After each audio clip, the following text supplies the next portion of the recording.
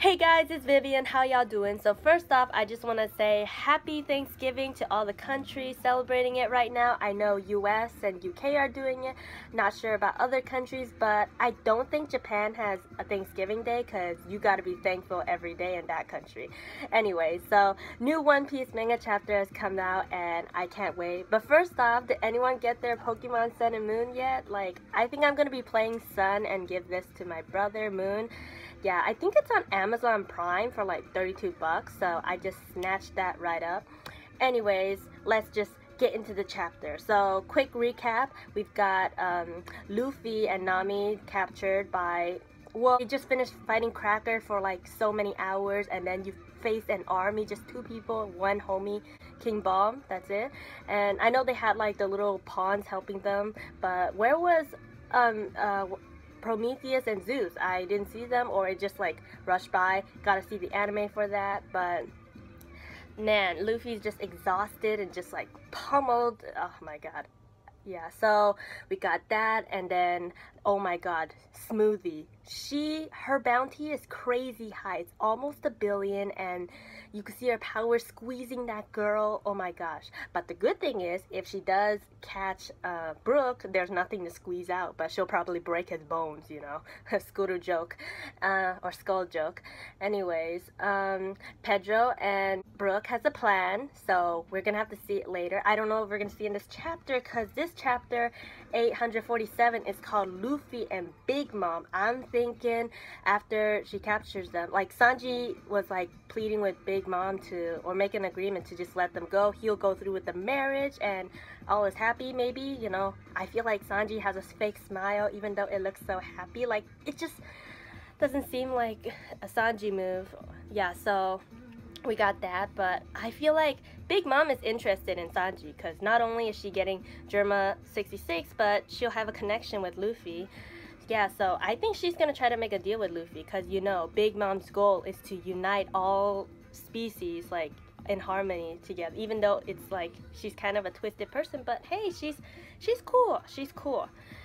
All right, let's just get into the chapter. So on the cover page, Rebecca and the Tontatta tribe celebrate Kiro's birthday, Tochigiri Prefecture, PN Daji. So Rebecca is just like clapping for her dad. This is probably the first birthday she had in so many years. The dwarves are there. Mansherry's on Rebecca's head. Leo's like comforting Kyros. He's like crying.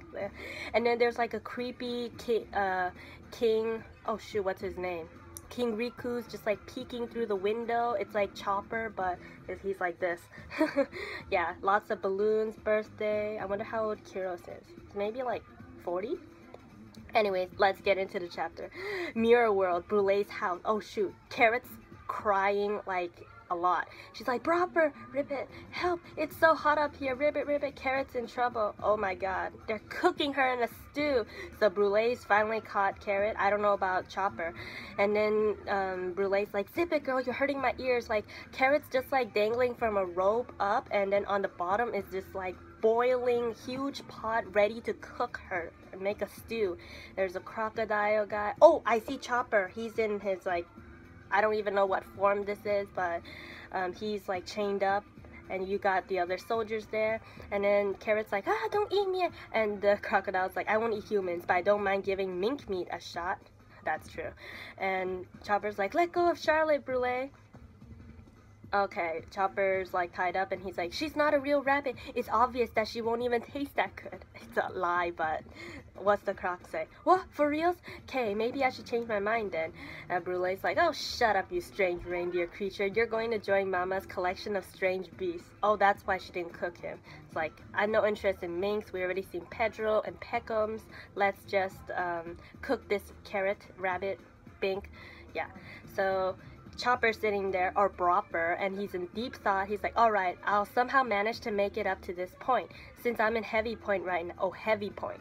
I'll, it'll be easy for me to get out of these chains by simply transforming. Oh, so he's just waiting for the right moment. He'll shrink and then get out of the chains and then initiate, initialize the plan. Oh my god. Alright, so here we go. Since it's been six hours since yesterday since I used it, can I can even transform into monster point if I need it. Okay, okay. A ribbit, a ribbit. Uh, I'm getting in the way of Pedro's gonna kill me. Uh, uh, once the exquisite soup is finished, in she goes. And Chopper's like, this is my last chance. Oh, shoot. Back on Whole Cake Island, in the capital of Sweet City, Whole Cake Chateau, the library. so, a whole new world tends to be hidden inside the books. Big Mom is looking through her library full of books, and she's like, looks like uh, like this one. It has a page on the rare man-eating lion that has the face of a man. Uh, yeah, this is part of like the Greek mythology, maybe. Yeah, and it's like this little one is called the Manticore.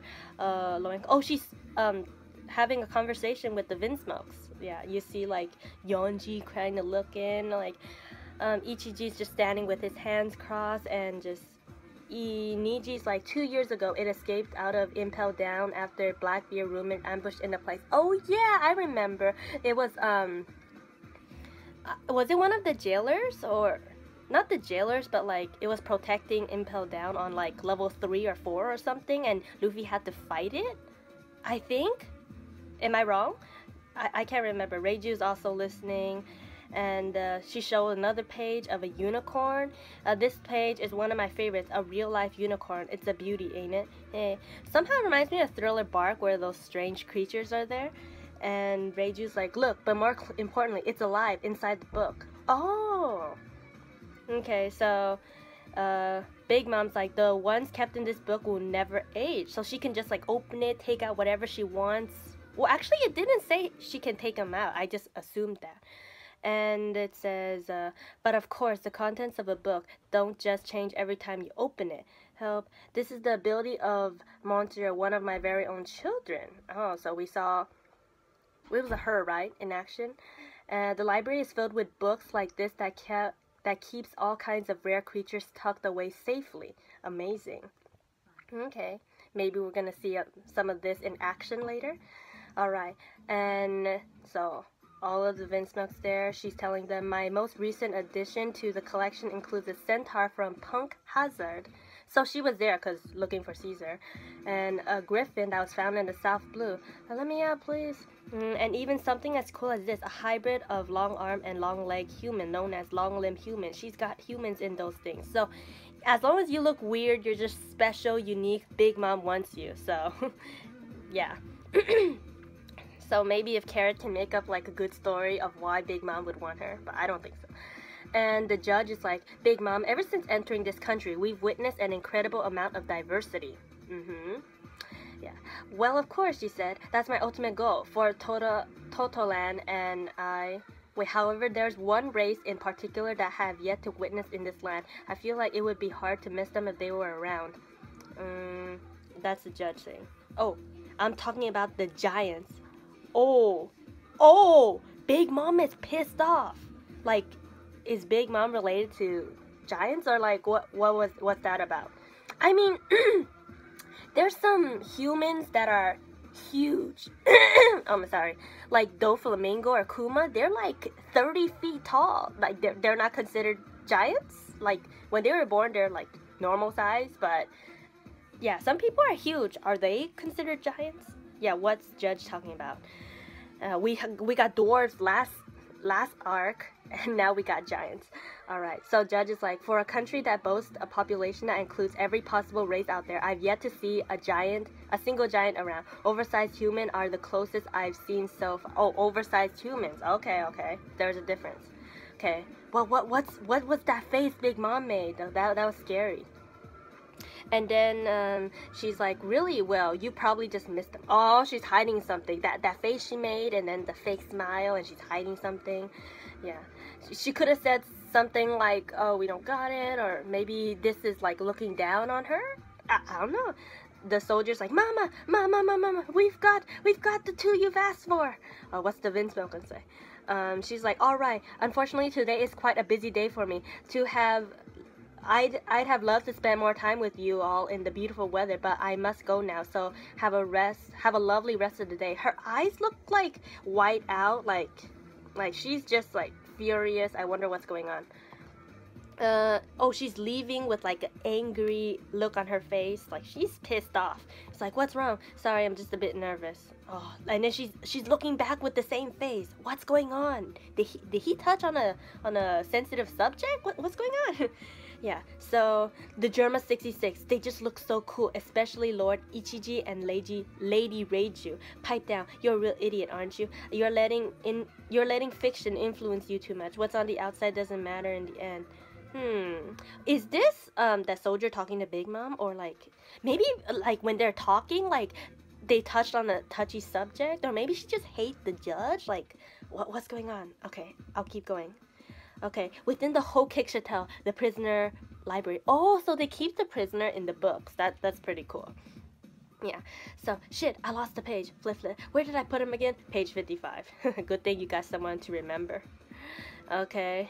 And then the um the candy guy the one of the Charlotte who controls candy, I think. He's like, oh, or lollipops. Oh, I love how bad these kids love. Lick, licky. So there's like a prison in one of the pages, and there's Nami and Luffy. Nami's like, what's with this room? Let me out. Where's my shower room? Shower room? I'm drenched in Mizuame and it's pissing me off. I'm sure she just wants a shower because it's sticky.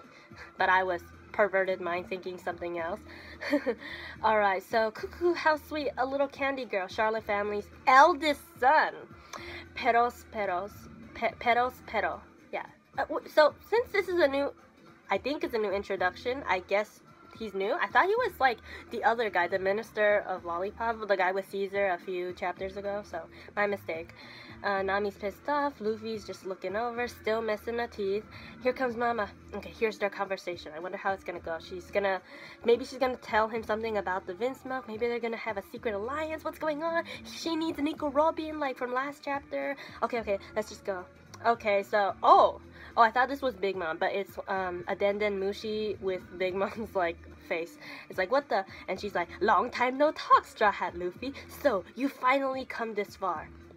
A Big Mom, a transponder snail, or, yeah. So, yeah, Nami's taking a bath and Luffy's just like angry. He's like yelling into the mic, Let me out of here. I need to get back. I'll break everything to get out of here if I need to. Mama, still uh, mama, mama, mama, still quite the lively one, I see. Um, you didn't bring along your entire crew, so I thought you had forgotten our promise back on Fishman Island. No, I'm definitely come to kick your ass one day, but right now, I'm just here to get Sanji back. Alright.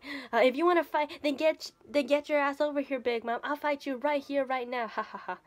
Oh, but Luffy's out of strength, and he refuses to eat anything, so... Yeah. Uh anyways the she's like don't get cheeky with me kid you're a mere grain in the sand in the desert that just entered the new world and Charlottes are laughing. It's like, you better not order me around like that. How presumptuous of you. I don't even need to be physically there if I wanted you dead this instant. I'm just scared they're gonna piss off Big Mom because you know how angry she was before. Like, Luffy might say something and it's gonna, like, explode on her, right? But Luffy is very interesting. He's got Garp and Dragon Revolutionary Army. Maybe she wants more connection, like a secret connection. Yeah, but you know, Dragon hasn't been in contact with Luffy, so I don't know. Anyways, um, if you simply give up on Sanji, I'll let you loose this time around. The union between Sanji and Pudding really means a lot to me. So she's kind of negotiating, just like let it go, okay? And until everything wraps up smoothly, I'll have you two wait patiently in there. But if you do anything to take away my upcoming joy. Okay, so she's just gonna lock him up in there, but like her face is like getting like shadowed out. Like she's getting angry. I don't know. Oh damn! Get ready to see hell. Oh my god. Wow, her face. And she's like, Do you remember back in Fishman Island, you devoured an entire batch of sweet, sweet candy that was supposed to be for me? Oh, that pissed her off. He's she's gonna eat like a whole bunch of meat in front of him. no and then and ended up giving me all the treasure you got from King Neptune as a way of paying me back. I'll give you all the treasures I've got. I'm paying you back for the candy here and now. And she's like, mama, mama, mama, what do you think was hidden in that treasure? You better not ask for it back now. What was inside? The infamous legendary treasure box of Fishman Island known as the Tamate Bako. What's inside? Is it related to um is it Neptune? Um the prince mermaid prince Shirahoshi? Is it related to that? What's the Tama Tamate Bako?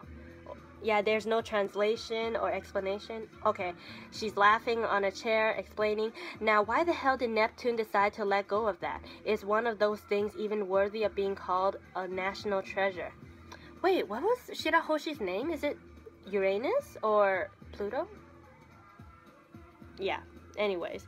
And, um, Big Mom's like, I've fallen in love with that little box, so I'm going to let go of the incident involving the candy altogether. And I'm gonna open it in front of everyone at the tea party. Man, I'm so freaking excited. I can't wait for Luffy to crash that party. Like, Jinbei, please come. I don't know, someone. Like, come back. Yeah, Chopper, Bropper. And then Luffy's like, shut up, Sanji ain't marrying. Uh, speaking of which, let me see Pudding. She's my friend. Oh, oh. Uh, Luffy, don't tell her about Pudding. Your friend, huh? Is is she gonna say Pudding tricked you? Have you gone nuts? Why would the bride be friends with you of all people? Also, little girl, I've been wondering. I heard you killed Lola. No, no, no, no, no. what? Uh, Lola's my friend. She gave me that Vivre card as a symbol of our friendship. What's she, what's she gonna say? Is it good or bad? Um, flashback of Lola. Whenever you get in big trouble, use this to see Mama. And if you ever do see her, tell her that I'm doing well. And Nami's saying, Lola's doing well. There's a message from her that I've been told to pass to you. She did tell me that her mama was also a pirate, but I would have never guessed that it would be someone as big as a Yonko Big Mom. Lola told us that as long as we showed you the Vivre card, you would definitely help us out. Oh! She's yelling, quit bullshitting me. Oh my god, Nami. I mean, maybe it's the wrong, like, situation. If they were here on some other business, maybe she would help, but, like, Big Mom's like fed up. Okay, uh, what's the what's the explanation? Yeah, uh, who cares if she's doing well? Hell, if uh, I'd have loved if she were really dead. Oh, tell me if you know that if you know where the damn kid is. I'll immediately send in an assassin to get her eliminated. I can't believe she still thinks of us as family. What happened? I remember last chapter they said she was a runaway. And then uh, and then Big Mom's like, she truly has no feeling for how I feel. That kid is an imbecile who rejected and ran away from one of my most crucial, crucial planned political marriages of all time. Remember, Lola was rejected 4,444 times, like for like her own, but she had a planned marriage. Big Mom like had it all set up for her to marry someone. But what? I mean, her twin sister Chiffon got married to um. Oh, I, I can't remember his name. That that guy. Um, was it? Uh, oh my god, I can't remember. Yeah. And then um, Nami's like, what? I'll never forgive her. Um, she's like, flashback. I'll offer myself as a bride, especially for you, boy. If you're not uh, taken already, are you? Um, and then here's Lola as the zombie form. Absalom is meant to be mine. Um, here's her pretending to be Namizo. Like, I've been thinking that you two are made for each other. I'll support you two with all I got. What, really? Uh, I come to rescue. Oh, I love that part when she came to rescue Nami. It's like, my precious friend. My friendo. and uh, Nami's like, Lola, Lola, she died. And then when they reunited, it's like, Lola, I'm so glad to see you again. You're special to me, Namizo. You and I will be like sisters from now on. Oh, Lola. Here he goes. That day, if she had simply listened to me and agreed to the marriage, I could have gained immense power. Oh if it weren't for her idiotic rebellion, I would have been able to crush Kaido, Redhead, and even Whitebeard long ago. And by now, I would have been Pirate King! What'd you do? Was it... Was, does that have to do something with the giant? Or maybe Gol D. Roger? I mean, Lola's probably... I don't know, she looks maybe 30s, 40s. Like Gol D. Roger was still alive at the time. Maybe I don't know. I'm, I'm thinking like crazy thoughts maybe. Yeah, like who who could she have married that would make her be able to like defeat all the other Yonkos? Damn, damn. It's like I would have been Pirate King or Queen or what? What, what was it? Okay, Flash. Uh, it's like Lola. Lola's friend Nami here. I'll definitely have you spit out her current location later on damn, Big Mom is furious. But we don't know where Lola is unless there's a way to contact. Uh, I don't know. Did Lola say? Maybe we're gonna see like extra stuff we get in, we didn't get to see in Thriller Bark. Yeah, I'm rewatching Thriller Bark if anyone's like wondering. Yeah, and it's like what a boring story, Big Mom. Damn, th this has got so interesting. Oh my god. Lola's the one who didn't want to marry. You're the one that hasn't become Pirate King. And uh, Luffy's like, if uh, if our promise from before is gone, I'll just pick a fight with you again. You're the one getting all cheeky just because you're a damn Yonko. I'm definitely getting Sanji back. And the one that's that'll win in the end is me. Ah. Oh my god, oh my god.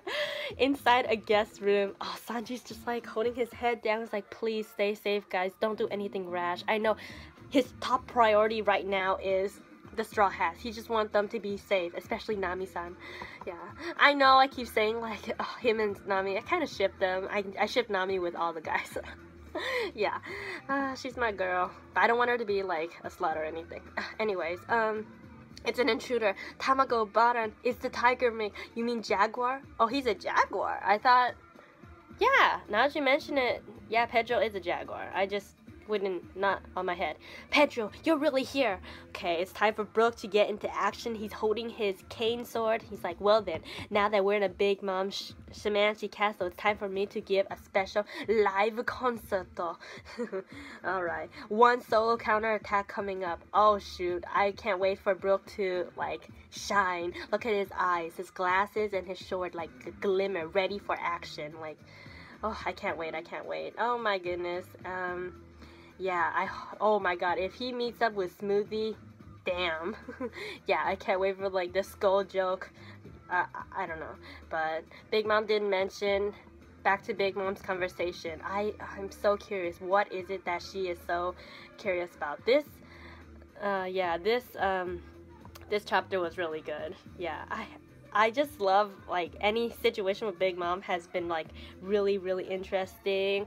Yeah, we see uh, we saw her fantastic beast and where to find them, and uh, we saw. Yeah, I don't know if she's got something with the judge or something with giants, but she was pissed off after the meeting with the Vince Vinsmokes, and conversation with Luffy and Lola. The thing with Lola, that's what got me this chapter. What happened? Who was Lola going to marry? That's what I want to know. Who? Damn. yeah. Anyways, guys, the end of the chapter. Oh my god, that was really good. I could ramble on, but it's time to go get ready for Thanksgiving. So, happy Thanksgivings, guys. See you guys next week. There is a chapter next week, no break, hopefully. So, see you guys next time. Peace out.